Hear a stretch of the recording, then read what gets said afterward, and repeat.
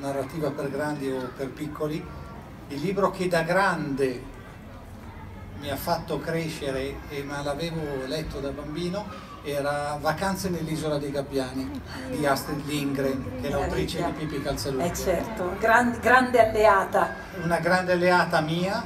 Eh, quando mi dicono come si fa a far leggere i ragazzi, eh, dico la mia esperienza, basta avere un padre che ti dice non leggere, non leggere, non leggere. A mio papà non piaceva che leggessi, no?